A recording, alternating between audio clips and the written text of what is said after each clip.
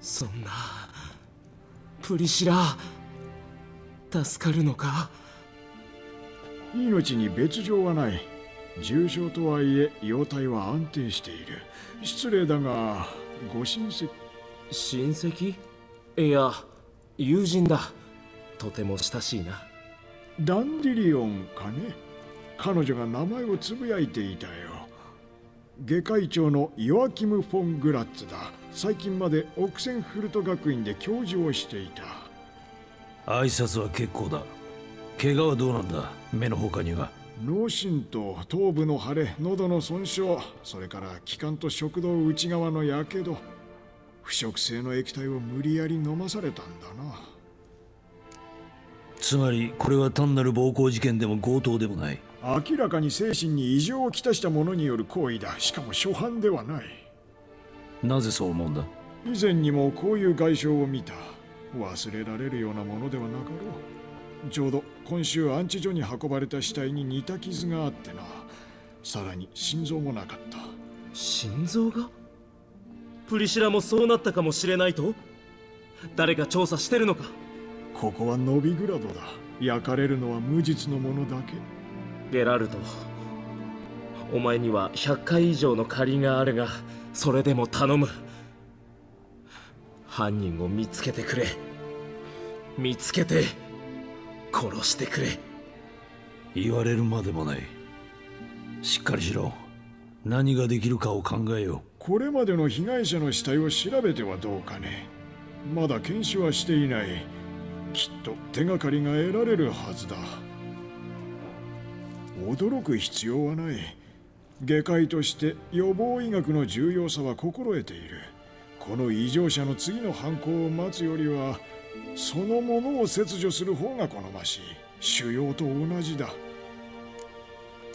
素晴らしい例えだがその腫瘍はおとなしく待ってはくれないだろう。ご協力はありがたいが状況を分かっていないようだ。十分分かっている。そして約束する。自分の身は守れると約束は結構だが保証はできんぞ。剣ではなくメスを振るってきたお方ならなおさらな。この傷を見ろ。遠慮するな。何がこんな傷跡を残すと思う？棍棒モーニングスターがどう思う？治療中に襲われたとでも？もう一度言おう。自分のしていることは分かっている。その上で協力したい死体安置所に入れると思うか？正面の入り口からか？無理だ。だが下水道から中に入れる。下水道？よくそこを通るのか先生？必要に応じて予防医学の研究のためにな。代替療法ってことか。荒療治だな。面白い。歩きながら話そう。いいか？準備はできてる。楽しみだ犯人が誰であれ何とかしてやる。それがヘメルファルトでもな。ありがとう。先に行け。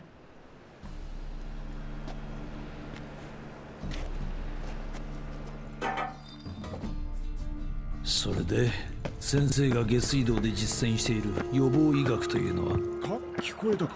さっきから何度もだ動きを構えろ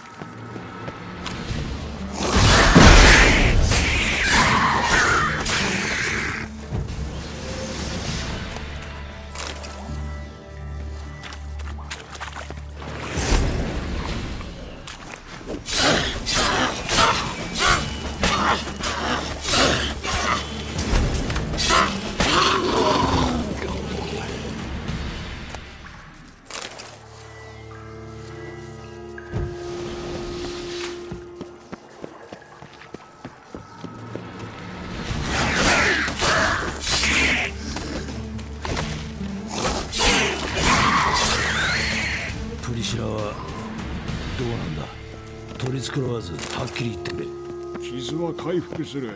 だが声については懸念が残る。女銀融詩人にとってどれほどひどいショックかわかるだろう。生きていく意志を失うほどだ。治せないのか？それができるのはご友人のダンデリオンだけだろう。はしごを使え。ここだ。急げ。早く終わらせた方がいい。なぜだ？他に行く場所でも？邪魔が入るかもしれない。例えば検視官やナサニエル・パストディ牧師だ。よろしい。ドワーフの木彫り職人の遺体を探そう。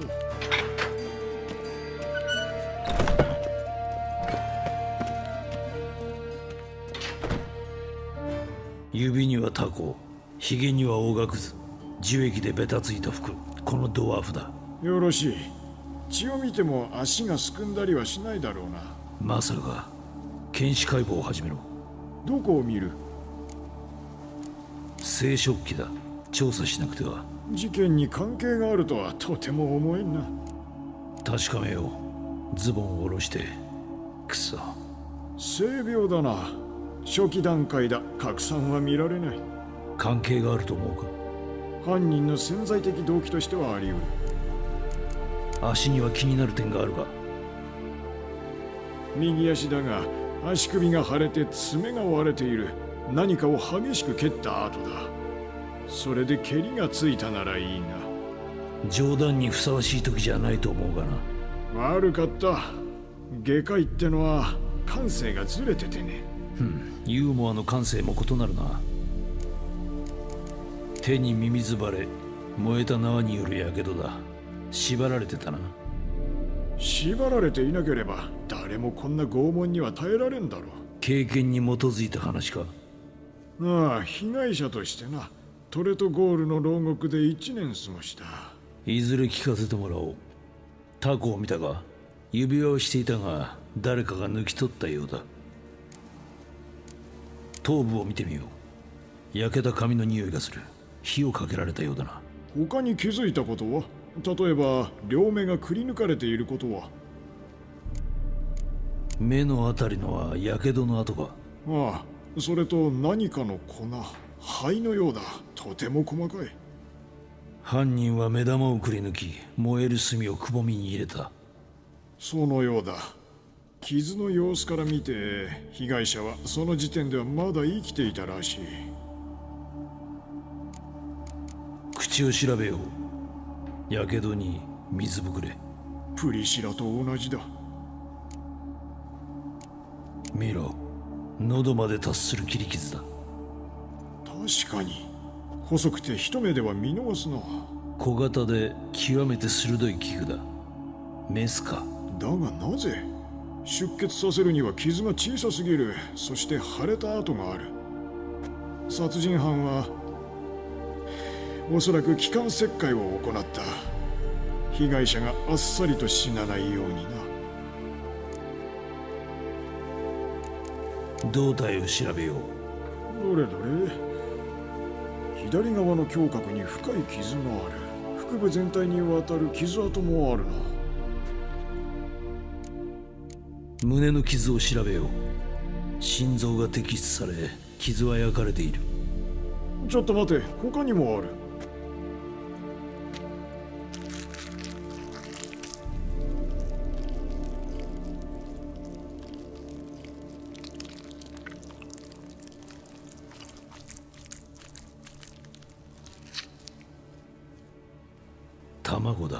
両生動物の。人影か？焦げているが無傷だ。学生の頃爬虫両生類学の講義を受けたことがあるが死体に卵を産む両生類は記憶にない。つまりコクラン教授の誤りかこれが犯人の仕業かだ。傷跡を見ろ。細長い切り傷だ。だが傷口はギザギザだな。関係ない。見ろ腫れもあざもない古傷だ。作業場での事故じゃないかな。腹腔を開いてくれ。言っておくが匂いはひどいぞ。下水に腰まで使ってズーグルと戦ったことがある。だから待て。復讐がしないぞ。ホルムアルデヒド医薬品だ。希釈した場合生体組織の保存に使われるが濃度が高い場合は酸よりも強力な破壊性を持つ。腐った匂いがしないわけも喉のやけども説明がつくな。情報はこれで十分だな。教えてくれるか。私には一向に真相がわからん。どんな動機があり得たというんだ。猟奇的な儀式だ。見ただろう。目のやけどくり抜かれた心臓やけどを起こす液体。全て熱や火に重点を置いている。永遠の炎か。この手がかりを追いたい。男の名前はわかるか？ファビアン・マイヤーだ。そして私は検察医のフーベルト・レイクだ。検視解剖に来たが代わりにやってくれたようだな。相変わらず他人を問題に巻き込んで無用な干渉をしてくれる。こちらはどなたかな？生徒だ。勤勉でねいくつか質問がある。手短にな。ナサニエル牧師が視察に来られた。間もなくいらっしゃる。知り合いなのか？私はフーベルトに医学の処方を教わった。昔のことだ。勉強不足だな。未だにお前は基本を理解していない。医師の役目は病気の治療であって世界の救済ではないんだぞ。少しも変わらんな褒め言葉か？違う。事実を述べたまでだ。30年を経て少しも変わっていない。木彫り職人の遺体どこにあった？教えてくれ。操作する気か？面白い。死亡したのは作業場だ。市場の南ファーコーナーズの門のそばだ。女銀融詩人が襲われたのもそこだと騒ぎになっている。だが木彫り職人の死体を運んできたのは死体収集人のユースタスだ彼と話すがいい。すぐそこで見かけた。ああようこそ牧師様。こちらの方々はいかなる事情があろうと誰も入れてはならんと言ったはずだが。ええですが個人の知り合いで遺体を迎えにいらしたのです。関係ない。すぐにお引き取りいただけ。仰せのままに牧師様皆さんこちらへ別の道からお帰りくださいなぜかばってくれた？自分の身を守ったまでだ。誰かが死体安置所に入り許可なく死体を切り開いたと知れたら大変なことになる。ヨアキムお前はそんなこと考えもしなかったか？変わらんな。まあお前のわがままは容認できんがこの殺人犯には虫唾が走る。事件に関する新しい情報が入ったら知らせてやろう。うん助かるよ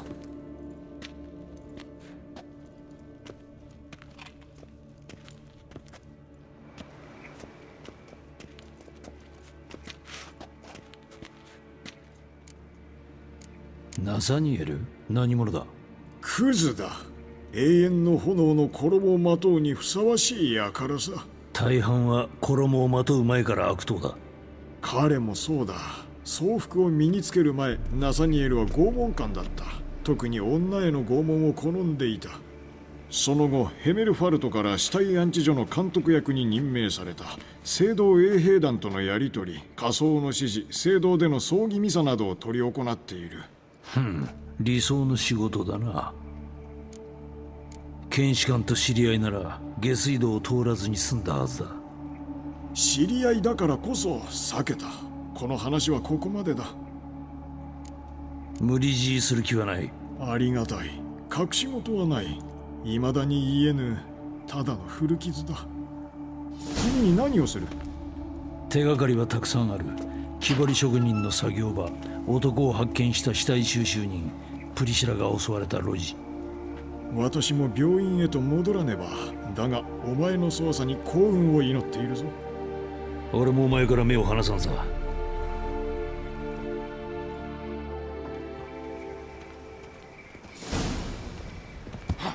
近頃の若いや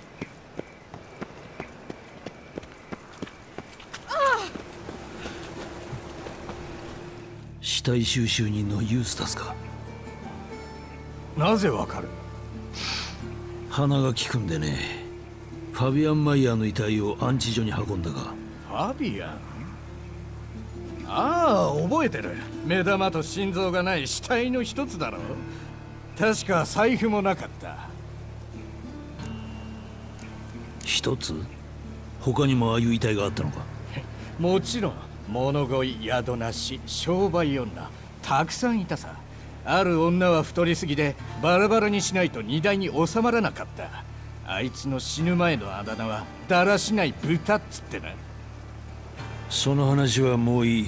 それでその後どうしたんだ？牧師の言いつけ通りに焼却しただけだ。一つ残らず。ああ惜しいことをした。惜しい。なぜだ？いややはり聞かないでおこう。聞きたくもない。ファビアンの体を調べたのか？いやそのポケットを見てみたんだ。何も無駄にしないようにってな。一言で言えば死体専門のコソ泥か。こちらも一言で言おうか。お前には無関係だ。修税官のつもりか？うせろウィッチャーめ。話せ。死体から何を見つけた？ああ話すともさ安物のガラクタさ。ガラス玉の指輪一握りのコイン。それと手紙。見ろ。ベラム。上質な用紙だ。文字を引き取って新品として売るんだ。それは人間の皮膚だ。プリシラ。次の犠牲者の名だ。これが適切な者の手に渡ってさえいれば。プリシラだか誰だか知らんがこの町には商売女が溢れてるから別に構わんだろとっとと消えろクズが。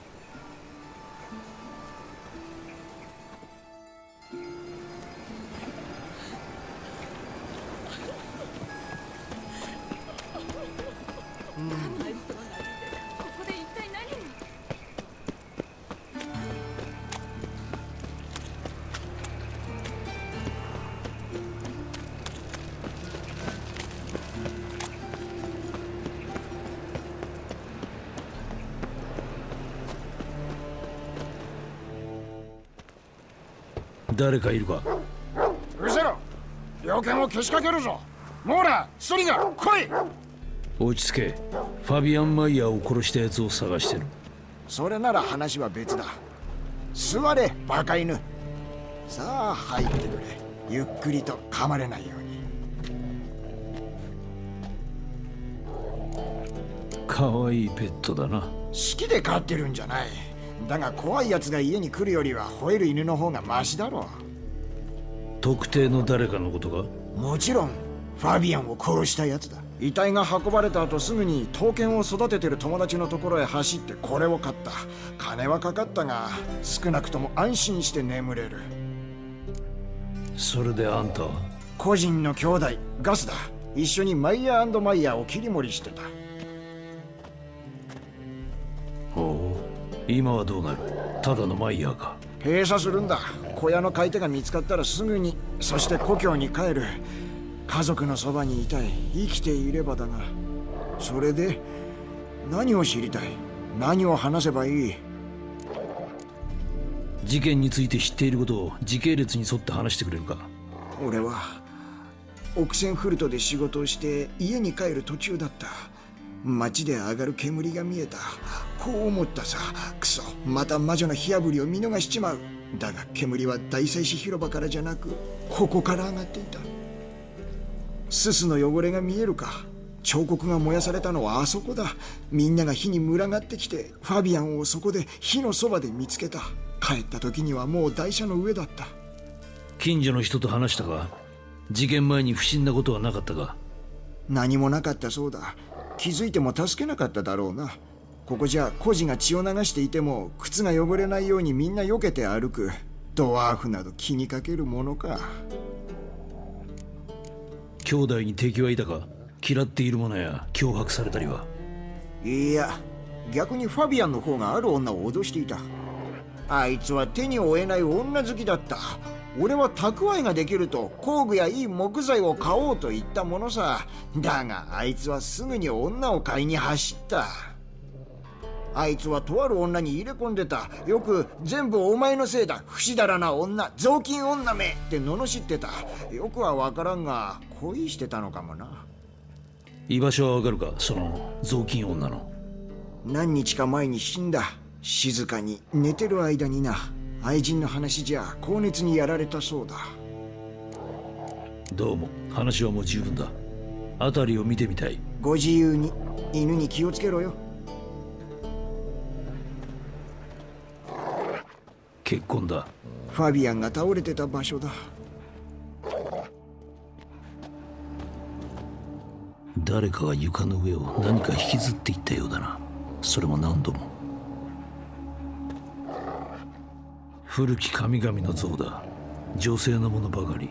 いい肉付きだな。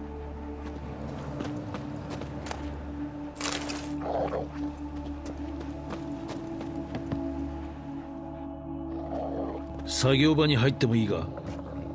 ファビアンが発見されて以来中を見ていない。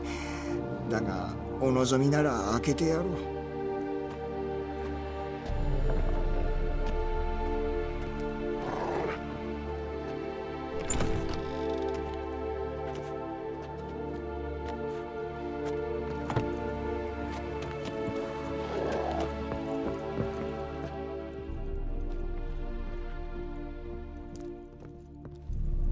倒れてる。蹴られたように見える。また血痕がある。しかし出血で死んだのなら遠すぎる。誰かが血を拭き取りシミが残ったが完全に腐ってる。ホルムアルデヒド。ファビアンが使ったとは思えん。うん。ここには何もないな。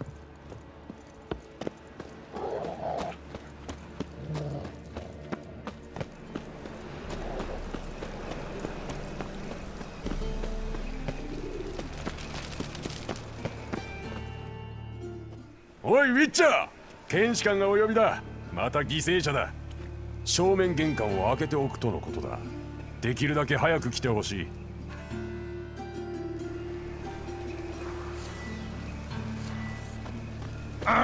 何の用だ？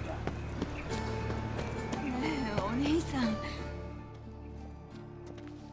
火鉢か。この季節に？捕まえて。あいつか？知らないわよ。何を無駄だ。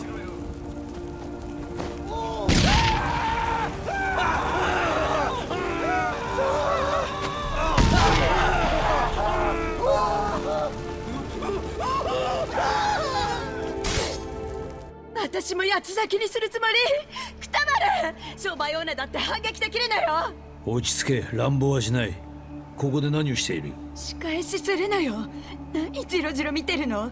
人殺しは犯行現場に戻るって言うでしょ？兄弟とここで待ち伏せてそいつを歓迎してやるの？プリシラの分の仕返しよ！そうか。俺は手がかりを探しに来たんだ。目撃者とかな。あまり力にはなれないけど知ってることは話すわ。プリシラとは友達なのか？違うわでも私をバカな商売女って見なさずに敬意を示してくれた。それが嬉しかった。私は女を売るのはもうやめてまともな職に就こうとしてたの。でも誰も雇ってくれなかった。洗濯人としても使用人としても料理人としても。でもプリシラは違った。劇に出してくれるって言ってたの。みんな彼女が永遠の炎を茶化すのでおじけづいていたわ。口笛ウェンディが舞台に立つなんて想像できる？まあ夢は終わり。昔の仕事に戻るわ。残念だったな。もっとひどい仕事もある。そう思うようにしてる。犠牲者はプリシラだけじゃない。気づいてるがああもう当たり前でしょ。昨日今日に始まったことじゃない。他にも被害者はたくさんいる。物乞い商売女孤児。でも誰が気にかけるの？人間のクズ衛兵は私たちをそう呼んでる。覚えてる名前は？本名は知らない。みんなハゲ頭巻き毛お団子そんな風に呼ばれてた。友達も家族もいない。今頃廃よ元気でな。辺りを見てみる。邪魔しないでくれるとありがたい。もちろん脇に避けておとなしくするわ。でも他に何か分かったら教えてよ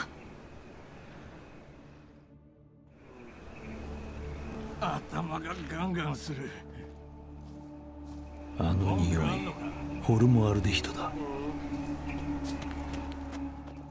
人間の足跡犯人のものだろう。かかとに重心。一歩下がった人間の血。プリシラのか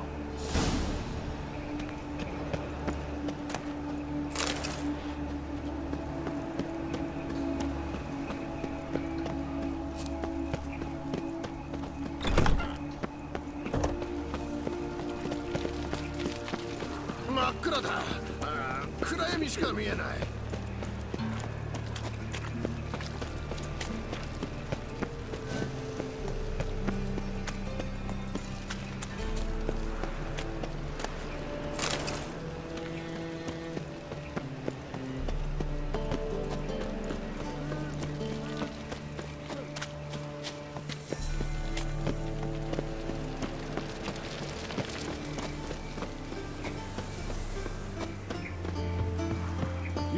そウィッチャーさん。